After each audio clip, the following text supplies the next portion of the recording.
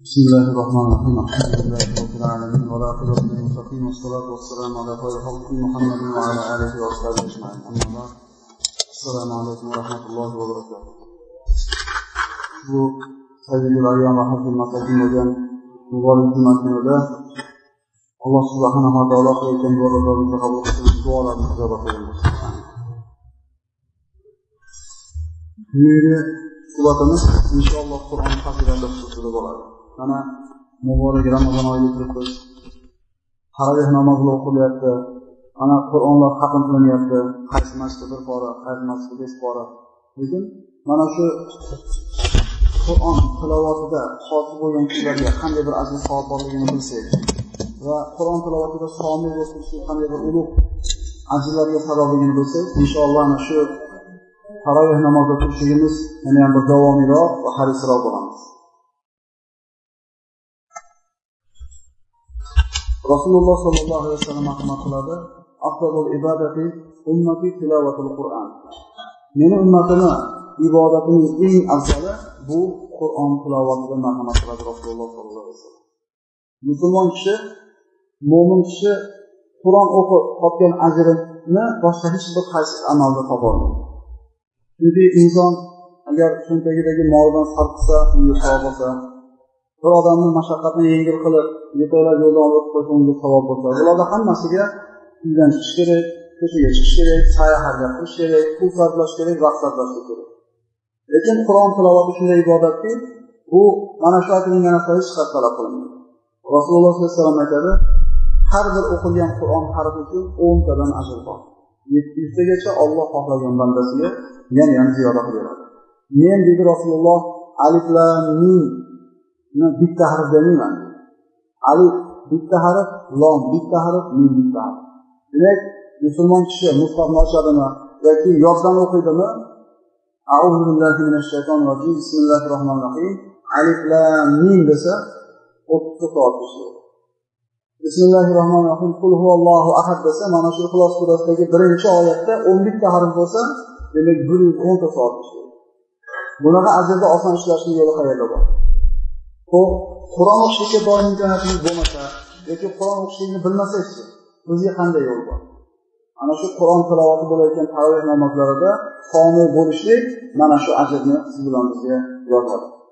Qur'onda nechta harf bo'lsa har bitta harfga o'ntadan savob qilindi va buni ko'paydi va buni ustiga ustak ramazon oyida qilingan sunnat amallar boshqa oylardagi farz amallarni qatoriga o'tadi savobi.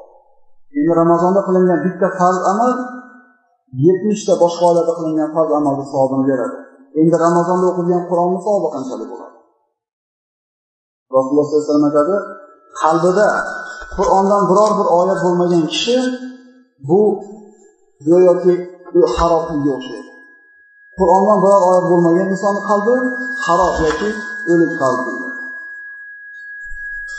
qur'on tilovati haqida gapiradigan bo'lsak mana rasululloh sollallohu alayhi vasallam abu dovud termiziy ahmad keltirgan hadisda قال صلى الله عليه وسلم المفسر بالقرآن كالمفسر بالصدقة والجاهر بالقرآن كالجاهر بالصدقة qur'onni maxfiy o'qiydigan birovga ko'rsatmasdan o'qiydigan kishi misoli sadaqani maxfiy qilayotgan odamga o'xshaydi albatta bunda xayr bor endi qur'onni oshkora o'qiyotgan kishi esa sadaqani oshkora qilayotgan odamga o'xshaydi Ikkalasida ham yaxshilik ikkalasini ham qur'on tilovati qilinyapti mana qur'on haqida gapiradigan bo'lsak payg'ambar sallallohu alayhi vasallam imom buxoriy keltirgan hadisda marhamat qiladi.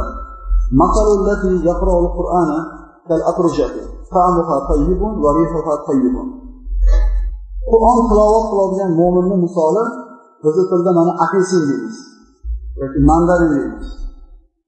qur'on o'qiydigan musulmonni misoli mana shu mandaringa o'xshaydi hidi ham shirin ta'mi ham shirin والذي لا يقرأ القرآن كالتمرة طعمها طيب ولا ريحها ولا ريح لها endi bir musulmon bo'lsaki musulmon lekin qur'on o'qishni bilmaydigan bo'lsa bu odamni misoli xurmoni donasiga o'xshaydi hidi yo'q lekin ta'mi shirin qur'on o'qigani hidi ham shirin bo'ladi lekin musulmonligi uni ta'mini shirinligiga xabar bo'lyapti.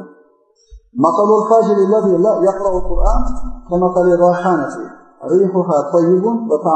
va endi bir hojir bo'ladigan bo'lsa fisq fujurni qo'rqmasdan qilib yuradigan bir hojir odam qur'on o'qisachi u nimaga o'xshaydi?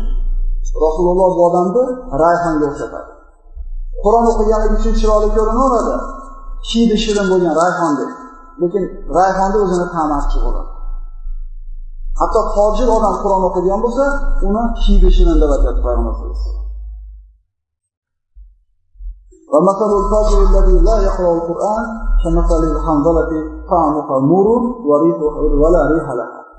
Endi bir fojirki Qur'on o'qishni bilmasachi Bu odam sassiq hanzala o'tiga o'xshaydi. Kiydi ham sassiq, ta'mi ham achchiq. Demak, ko'p odam aytiladi. Bir mo'min kishi qalbida iymoni bo'lib savobli amallarni qilib turib qur'on talovatida turadigan bo'lsa bu odamni rasululloh ana shu shirin mandaringa o'xshatyapti hidi ham zo'r ta'mi ham zo'r ko'pchiligimiz qur'on o'qishlikni bilmasak birodarlar ramazon oyida mana o'ttiz bora qur'on xatm qilinyapti shunga kelib somiy bo'lib turadigan bo'lsak ana shu payg'ambarimiz maqtagan birinchi toifadan bo'lamiz umid qilamiz alloh. Keyingi hadisda payg'ambar sallallohu alayhi vasallam mana aytadi imom buxoriy rivoyati abu hurayra roziyallohu anhu أن النبي صلى الله عليه وسلم قال لا حسد إلا في اثنتين رجل علمه الله القرآن فهو يتلوه آناء الليل وآناء النهار فسمعه جار له فقال ليتني أوتيت مثل ما أوتي فلان فعملت مثل ما يعمل ورجل أعطاه الله مالا فهو يهلكه في الحق فقال رجل ليتني أوتيت مثل ما أوتي فلان فأزخرت فعملت بما يعمل ikkita odamga hasad qilishlik mumkin deydi biz hasad degan darsda hasad bilan havasni farqini batafsil gaplashib chiqqan bo'ldik hasad bu ro'paringizda turgan kishida bor narsani yo'q bo'lib sizga o'tishni xohlashligi bu hasad endi ro'parangizda turgan kishini alloh taolo bir ne'mat bilan siylagan bo'lsa shu ne'matdaqa ne'mat sizda ham bo'lishini xohlashligingiz bu havas. Endi havasni ham qilib bo'lmaydi hech faqat ikkita odamga havas qilish mumkin. Chunki siz havas qilayotgan dunyo sizga berib qo'yilsa siz tug'yonga ketib qolmasligingizni aytolmaysiz sizga ana shu ilm berib qo'yilsa kibrga berib ketmayman deb aytolmaysiz faqat ikkita odamni havas qilishi mumkin. Birinchisi alloh taolo bir kishiga ilm berdi qur'onni berdi. Va bu kishi qur'onni erta kech tilovat qiladi. Shunda qo'shnisi qur'on tilovat qilayotganini eshitib turib aytar ekanki qaniydi mana shu kishiga berilgan qur'on menga ham berilsa va men ham kecha aytdingiz unga o'xshab qur'on o'qib amal qilsam ikkinchi odam bir boy kishini havas qilsa bo'ladiki o'zini alloh taolo bergan davlatini haqqa olloh rozi bo'ladigan joylarga sarflasa shu kishini havas qilsa bo'ladi. Ikkala havas qiladigan odamni qarayotgan bo'lsak payg'ambar sallallohu alayhi vasallam o'sha bittasini qur'onini bittasini pulini havas qilinglar deyotgani yo'q. Birinchi odam qur'on o'qiyotganligini havas qilinglar. Chunki sizga qur'onni berib qo'ysa siz yalqonlik qilib o'qimay qo'yishlik xavfi bor. Siz nimasini havas qiling? Shu qur'onni kecha kunduz o'qiyotgan joyini havas qiling. Ikkinchisi boy odamni havas qilish mumkin nimasini? Pulini emas. Ana shu pulini savobga sarflayotgan joyini ya'ni shu amalini chunki yana qaytarib aytamiz sizga shu pulni berib qo'ysa baxilligi tutib u yonga ketmayman deb aytolmaysiz mana rasululloh sollallohu alayhi vasallam aytadi abu dovud keltirilgan hadisda man ta'allama al-qur'ana thumma nasiyahu min g'oyri udrin ja yawm al-qiyamati azzan bu qoriylarga ko'proq tegishli va hammamizga tegishli. Qaysi bir kishiga qur'on berilgan bo'lsa qur'ondan ta'lim olgan bo'lsa va beuzr esdan chiqarib qo'ygan bo'lsa diqqat qilaylik nechta sura yodlaganmiz qanchasini kunda takrorlaymiz nechi foizi esimizdan chiqib ketdi? Kimga qur'on ta'limini olloh bergan bo'lsa qur'onni yodlagandan keyin shuni esdan chiqarib qo'yadigan bo'lsa uzrsiz. Qiyomat kunida ikki qo'li yo'q holda turiladi umar ibn hattob roziyallohu anhu aytadi agar ilm sizga foyda bermasa ilm sizga ziyon qiladi nima deb tushunishimiz kerak. Ilm kishini siniqlikka yetaklashi kerak. Abdulloh ibn Abbos roziyallohu anhu aytadi, man bi'alim bir odam ilm o'qigan bo'lsa kitobdan sunnatdan xabari bo'lsa ma'ruza qilsa qur'on o'qisa xullas e, ilmiy bo'lib tanilgan bo'lsayu lekin shu ilmi uni ollohdan qo'rqishlikka yetalamayotgan bo'lsa bu odam olim emas deydi endi bir odam ko'p narsadan xabari bo'lmasligi mumkin. Lekin ollohdan qo'rqayotgan bo'lsa shu odam olim. Demak ilm qur'on siz bilan bizga foyda qilmasa bu ilm agar bizni siniqlikka taqvoga yetaramasa, siz bilan bizni kibrga yetarib deb qoladi bir odam qur'on o'qiyotgan bo'lsa haligini xatosini ko'rasizda shayton sen buyoqqa o'qiy olmas ekan deydi ya'ni bir odam qur'onni sizdan burun xatm boshlab olsa sen kulganingda bu boshladi deb yana kibr yod ketishi mumkin. Shuning uchun mana har ma'ruza eshitganimizda ilmdan bir qismini olib ketyapmiz. Kasetalarda eshityapmiz mana domlalarni ustozlarni televizordagi e, ko'rsatuvlarni ko'ryapmizda shu narsa esimizdan chiqmasin shu eshitayotgan narsalarimiz bizni ollohdan qo'rqishlikka olib bormaydigan bo'lsa bizga foyda qilmagan bo'ladi. Endi foyda qilmabdimi zarar qiladi. Dunyodagi zarari kibr bo'lsa oxiratdagisi bilib turib qilmaganlik yoki hisob kitob.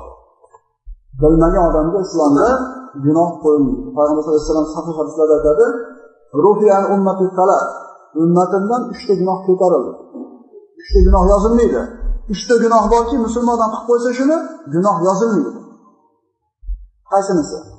Al xato va nisyan va bir kishi bir gunohni qiladi shuni gunohligini bilmay qilib yurgan ekan.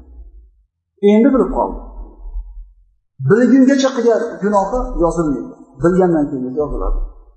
Ikkinchi gunohi amnissiyan shuni gunohligini bilar ediyu haqiqatni esdan chiqib qolibdi. Mana ramazonni kuni birinchi kunlarda shunday bir holatlar bo'lib qoladi. Suv ichib olasiz. Biror narsani totib olasizda esdan chiqarib qo'ydingiz ro'zadorligingizni. Mana shu gunoh ham yozilmaydi. O'zi gunoh bu. Uchinchisi majbur bo'lib qolgan holatda qilgan gunohi yozilmaydi ya'ni ana shu och qolganda sho'shqa go'shtdan bir o'lmaguncha yeyishlik yoki bir zarurat tug'ilib qoladigan bo'lsa shu olloh harom qilgan narsani iste'mol qilmasa haqiqatdan halokatga sabab bo'ladigan bo'lsa majbur bo'lganda qilgan gunohi ham yozilmaydi uchta gunoh musulmon kishi yozilmaydi demak qur'onni o'qiyapmiz qur'onni yodlayapmiz qur'onni o'rganyapmiz ilmni eshitib o'rganyapmiz. Endi bunga siz bilan bizda amal degan narsa bo'lmaydigan bo'lsa qiyomat kunida bizga bu narsa ziyonimizga hujjat bo'ladi. Keyingi hadis imom buxoriydan bu ham rasululloh sollallohu alayhi vasallam usmon roziyallohu anhudan rivoyat qiladi. Mana aytyapmiz siz bilan biz ramazon oyida turibmiz. Bu qur'on oyi bu ibodat oyi bu taqvo oyi. Laallakum tattaqun degan alloh taolo iymon keltirganlar sizlardan avvalgi ummatlarga ramazon ro'zasi farz qilingandek sizlarga ham farz qilindi. Bitta maqsadda. Shoyat taqvodor bo'lsanglar. Ro'zador bo'lib turib siz bilan bizni taqvoyimiz ziyoda bo'lmayotgan bo'lsa ro'zador bo'lib turib yolg'on so'zni yolg'on gapni tark qilmayotgan bo'lsak va mana shu yolg'on so'zga bo'lgan amalni tark qilmayotgan bo'lsak rasululloh nima degan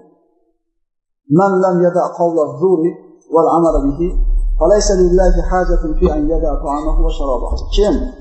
Ramazon oyida ro'za tutsa lekin ro'zador bo'lgan holatda yolg'on gapni tarqamagan bo'lsa shu gapiga amal qilishni tarqamagan bo'lsa alloh taologa bu odamni ovqatini va sharobini bir chekkaga surib qo'yganligini keragi yo'q.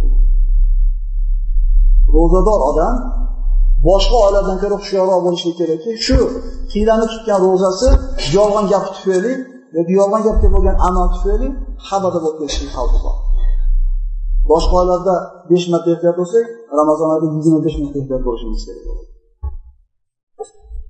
qur'on oyida bizda odamlarni yaxshisi qaysi desa hammamiz o'zimizga yaxshi o'lcha olamiz bor bunday ish qilgan odam yaxshi bunday qilgan odam yaxshi rasululloh sollallohu alayhi vasallam quyidagi hadisga quloq solsak sizlarni ichinglarda yaxshiliklar deydi rasululloh qur'onni o'zi o'rganib so'ng boshqalarga o'rgatgan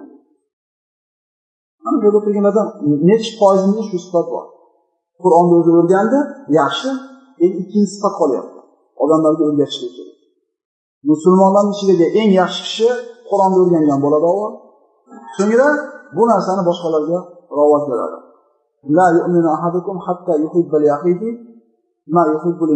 kishi o'ziga yaxshi ko'rgan narsani birodariga ravo ko'rmagan uchun musulmon bo'lmaydi dedi. Qur'onni o'zi o'rganasiz va boshqalarga o'rgatasiz. Qur'on tilovati xususida mana masjidlarda qur'on xatmlari bo'lyapti. Endi insof bilan aytish kerak ba'zilarimiz sakkiz rakatda turib chiqib ketib qolamiz besabrlik qilib. Ba'zilarimiz umuman talabatga bormayotganligini ham bilamiz. Endi nimadan mahrum bo'lyapti demaysiz shu odam? Yoki shu tarovihga chiqmaganligi uchun nimaga ega bo'layotganligini aytsangiz nimadan mahrum bo'lganligidan o'zidan ma'lum bo'lib qolaveradi nimaga ega bo'lyapti? Yo bo'lsa ko'chaga chiqib gaplashib turadi g'iybat shikoyat yolg'on gap. Yo g'iybat qilmayotgan bo'lsa kelib televizor ko'radi. Ya boyagi maza bemaza lahv narsalar. Endi masjidga kirgan odam nimaga ega bo'ladi? Mana hadislarda keladi sahih hadislarda rasululloh sollallohu alayhi vasallam aytadi qaysi bir ollohni uylaridan bir uyda odamlar to'plansa ollohni kitobini tilovat qilsa o'zaro dars qilishsa bu yerga alloh taoloning sakinati xotirjamligi yog'adi. Farishtalar o'rab oladi bu yerda. Va bitta bitta bu yerdagi ismlarni yozib ollohning huzuriga ko'tarib chiqadi. Bu farishtalar bandalarni qilayotgan ishlarini muroqaba kuzatishlik uchun tushgan farishtalar. Ollohni huzuriga chiqqanda alloh taolo so'rar ekan bandalarini qaysi holatda tashlab ketdilar olloh biladi bizni holatimizni. Parvardigor seni qur'oning tilovat nimani orzu qilyapti ular jannatni jannatni ko'rgan bular? Yo'q. Ko'rganda qanaqa bo'lar edi? Yana ham shavq oshar edi nimadan qo'rqyapti seni azobingdan? Ko'rgan bo'lar azobingni yo'q. Ko'rganda qanaqa bo'lardi? Yana ham jahannamdan qochish bo'lardi guvoh bo'linglar bu majlisni ulug'ligidan shu yerda hozir bo'lganlarni hammasini gunohini kechirdi. Bu sahih hadis. Enadan tug'ilganda gunohlardan tozalab chiqib ketilmadi. Masjidga chiqqan odam darsxonaga kelgan odam qur'on tilovatida hozir bo'lgan odam. Shunda farishtalar aytar ekan parvardigor bitta banding bu yerga bir hojat bilan borgan edi bir ish bilan boradi yurib olib kirib ketib qoluvdi birodari yur talab o'qib chiqamiz deyapti qizil aytganda. U qasd qilib kelgani yo'q bu masjidda yoki bu darsxonani. Uni ham gunohini kechiraversanmi? Niyat qilmasdan kelgan. U majlisni ulug'ligidan barakotidan bu ham mahrum bo'lmaydi uni ham gunohini kechiraman. Bu yerga kelgan odam bu marhamatdan bebahra bo'lmaydi. Demak tarovihni tashlab chiqib ketayotganimiz to'g'ri bu farz emas. Payg'ambar sallallohu alayhi vasallam targ'ib qilgan buyurmagan lekin targ'ib qilgan. Umar ibn hattob davri buyurildi. Bu farz emas lekin mana shu ishni qilmasdan tashqarida nima ish qilyapmiz insof qilaylik o'zimizga. Bir yilda bir marta ramazon bo'lsa. Bu birovni e, ayblashlik yoki birovni malomat qilishlik emas. Faqat bizni yelkamizda bir e, eslatib qo'yishlik vajhidan gapirib qo'yilyapti nimadan mahrum bo'lyapmiz buni imom buxoriyda keltirilgan hadis usod ibn huday roziyallohu anhudan men deydi uyimda vaqtdan tejash maqsadida mana tarjimasini o'qib aytaveramiz. Uyimda tunda baqara surasini o'qirdim. Hujramda baqara surasini o'qirdim tashqarida otim qoziqqa bog'langan holda turardi.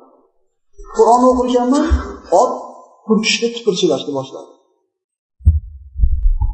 Tinchliknikida to'xtadim ot to'xtadi. Yana qur'on o'qishda davom etdim ot yana hurkishni boshladi. So'ngra yana to'xtadim ot yana to'xtadi. Uchinchi marta o'qidim yana hurkishni boshladi. O'g'lim kichkina o'g'ilcham tashqarida edi ot hurkib bir tepib qo'ymasin dedimda qur'onni to'xtatdim tashqariga chiqdim nimani ko'rdim tong otdi rasululloh sollallohu alayhi vasallamga borib turib mana shu bo'lgan narsani aytib berganda ey huzayr o'qivermabsizlar o'qivermabsizlar dedi. Aytdiki rasululloh kichkina o'g'lim yahyo tashqarida edi. Ot hurkib bir tepib netib qo'ymasin deb to'xtatuvdim. Chiqsam dedi. Tashqariga chiqdim boshimni ko'tarsam go'yoki oppoq bir bulutga o'xshagan narsa osmonga qarab ko'tarilib chiqib ketardi payg'ambar sallallohu alayhi vasallam aytdi ey xudo agar siz buni o'qiganingizda bu alloh taoloning farishtalari sizni qur'on tilovatingizni eshitgani tushgan edi. Uyingizga sakinat xotirjamlik tushgan edi. Agar to'xtatmasdan ertalabgacha o'qiganingizda odamlar farishtalarni ko'rishlik darajasi ko'p bo'ladi. Qaysi birimizni xonadonimizda qur'on tilovati bo'lyapti. Har bittamiz o'zimizga olaylik bu har bitta aytilayotgan narsani e, muzika qo'yilayotgandir valanglatib yoki serial ko'rilayotgandir hammani jamlab lekin qaysi xonadonda qur'on tilovati bo'lyapti. Bu insonlar olloh va rasulini chizig'idan tashqariga chiqmagan kishilar ekanki alloh taolo ba'zi bir karomatlarni ko'rsatib qo'ygan. Qur'on tilovatini qilganda farishtalar eshitgani tushib kelyapti shu sharaf bo'lyapti birodarlar masjidlarda qur'on talovati bo'lyapti farqi yo'q qaysi masjidda o'qisangiz qur'on talovatiga somiy bo'lib turing albatta ajr bor rasululloh sollallohu alayhi vasallam mana shu ilm xususida nima degan kun aliman av mutaalliman av mustamiyan av muhibban. Yo olim bo'ling deydi payg'ambarimiz ilm o'rganing olim bo'ling. Yo ilm o'rganuvchi bo'ling talaba bo'ling. Agar shunga ham vaqt yetmasa eshituvchi bo'ling. Biz mana eshityapmiz mavzuda eshityapmiz hatmi qur'onda eshityapmiz yoki eshitgani ham vaqtingiz bo'lmayotgan bo'lsa bora olmayotgan bo'lsa shu ilm majlisiga yoki hatmi qur'onga yaxshi ko'ruvchi bo'ling. Kasaldirsiz safardadirsiz bir sabab bordirki uzilib chiqolmayapsiz masjidga. Eng kamida yaxshi ko'ruvchi odam bo'ling. Beshinchisi bo'lmang halok bo'lasiz beshinchisi kim? Mana shu ilmga mana shu qur'onga beparvo bo'lgan kishi. O'qib nima bo'lardi deydigan toifalar yo'q emas odamlar orasida. O'qib nima bo'lardi chunki o'qib nima bo'lishligidan bexabardir bu odam. Uyiga ollohni farishtalari rahmat yog'ishligidan xabardor bo'lganda bolam ke shu ayolda o'zim chopib qo'yaman. Sen qur'on o'qigan darsga chiqib kelgin devora olmaymiz. Ichimizda qur'on o'qishni bilganlar bo'ladigan bo'lsa hatmi qur'onda chiqib eshitib turishni qanday bir ajri bor payg'ambar sallallohu alayhi vasallam imom buxoriyda keltirgan hadisda ibrohim va ubayda abdullohdan rivoyat qilgan hadis قال للنبي صلى الله عليه وسلم اقرأ علي القرآن قلت أقرأ عليك وعليك أنزل قال إني أحب أن أسمعه من غيرك rasululloh sollallohu alayhi vasallam sahobalardan biriga aytadiki menga qur'on o'qib bermaysizmi dedi Desa haligi sahobiy rasululloh qur'on sizga tushadiyu men yana sizga o'qib beramanmi? desa men boshqa bir kishidan eshitishni yaxshi ko'raman. Rasululloh sollallohu alayhi vasallam qur'on tilovatiga somiy bo'lishligini qur'on tilovatiga quloq solishlikni yaxshi ko'rishligini aytadi. Rasululloh yaxshi ko'rgan narsani biz ham yaxshi ko'rishimiz kerak bo'ladi. Chunki ramazon oyida aytyapmiz bitta savobimiz yetmishtaga yoziladi. Ramazonda o'qilgan qur'on boshqalardan farqi bo'ladi. Ramazonda alloh taolo gunohlarni mag'firat qiladi. Endi bir bandaga alloh subhanahu va taolo qur'on ilmini bergan bo'lsa albatta u hofiz bo'lib o'qib boryapti degani emas. Ya'ni mushofni ochib bismillah deb o'qishlik qo'lingizdan qo'lingizdan keladimi? Qur'on o'qishni berdimi demak qur'on egasi johil bo'lmasligi kerak. Kechirimli bo'lishligi kerak. Abdulloh ibn masud roziyallohu anhu aytadi qur'on egasi odamlar uxlayotganda kitobi bilan o'qitishligi kerak. Odamlar kunduzi og'izlari ochilganda yurganda ro'zador bo'lishligi kerak. Odamlar xursand yurganda hayotda mahzun bo'lishligi kerak oxirat g'ami bilan. Odamlar kulganda yig'isi bo'lishi kerak ko'zida. Odamlar xohlagan ishini qilib yurganda ollohdan qo'rqib taqvo qilishlik kerak dedi muhammad abdulloh ibn masud roziyallohu anhu. Qur'on bilan alloh subhanava taolo insonlarni darajasini ko'taradi. Umar ibn hattob roziyallohu anhu xalifa bo'lib turar ekan o'zini o'rniga qo'yib ketgan ishchisi. Ham ba'zi bir sabablar bilan tashqariga chiqar ekanda o'rniga bir odamni qo'yib ketadi.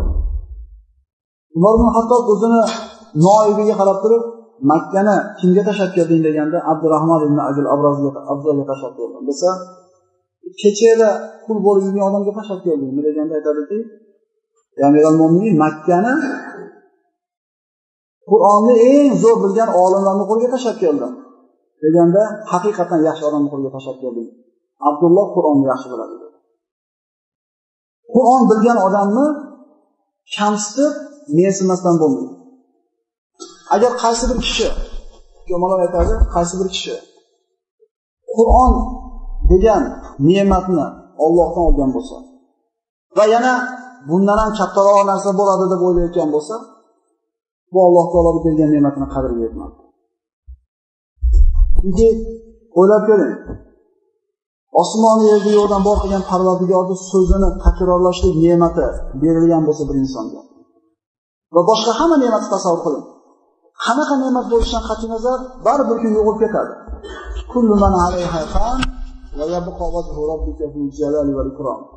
Yer yuzida qanaqa ne'mat bo'lsa yer yuzida nima bo'lsa bu foniy yo'qolib ketadi.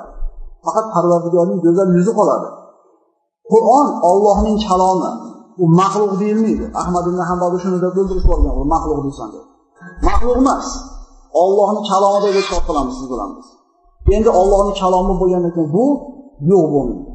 Sizni tilingizda, sizni qalbingizda hech qachon yo'q bo'lmaydigan Alloh taoloning kalomidir. Shuni olgandan keyin ham yana ba'zi bir dunyoda bir mayda-chuyda matolarni ko'rib turib, menga hech narsa bermagan deyotgan bo'lsak, Alloh taolo biz bilan bizga rahmat qilsin. Qoriga aytiladi qiyomat kunida. Hisob kitobdan o'tgandan keyin o'qi deyiladi. Ba'zi rivoyatlarda kelar ekan, Ahmad ibn Moja Abu Dovud Termiziy keltirgan ekan bu rivoyatda أن عدد درجة الجنة على عدد آية القرآن فيقال للقارئ يوم القيامة اقرأ وراقي فإن كان معه نصف القرآن يقال له لو كان عندك زيادة لزدناك إمام أحمد ابن ماجه أبو داود termiziy rivoyat qiyomat qoyim bo'lganda qori jannatda ostidan o'qib beriladi rivoyatlarda kelar ekan qur'onni oyatlaricha bo'ladi jannatni darajalari deyiladi ba'zi hadislarda jannatni yuz darajasi bor deyilgan o'qi deyiladi qori dunyoda qanday qur'onni o'qigan bo'lsa sekin sekinlik bilan o'qiydi. Shu o'qishlik asnosida uni darajasi ko'tarilib boradi. Oxirgi bilgan oyatini o'qigandan keyingi to'xtagan joyi shu kishini jannatdagi manzili hisoblanadi. Farishtalar aytar ekanki agar sen yana ziyoda qilganingda qur'on o'qishingda biz ham seni o'rningni ziyodaroq qilgan bo'lardik. Abdulloh ibn masuddan aytiladi qur'on shofi mushafi mahilul musobi faman ja'alahu imamahu qadahu ila janna va man ja'alahu xalfahu saqahu ila nar qur'on qiyomatda shafoatga oluvchi. Xatolarni ketkazuvchi kim qur'onni o'zini oldiga qo'yadigan bo'lsa albatta uni jannatga yetaklaydi va kim qur'onni orqasiga tashlagan bo'lsa albatta uni jahannamga haydaydi. Man nafasan an mu'min kurbatan min kurabi dunya. Qaysi bir kishi mo'min birodarini boshidagi dunyodagi mashaqqatini yengillatadigan bo'lsa, Alloh taolo bu bandani oxiratdagi mashaqqatini yengillatadi. Kim hayotda qiylanib qolgan odamni yengillikka chiqishga yordam bersa, Alloh subhanahu va taolo qiyomat kunida bu kishini mashaqqatini yengillikka chiqaradi.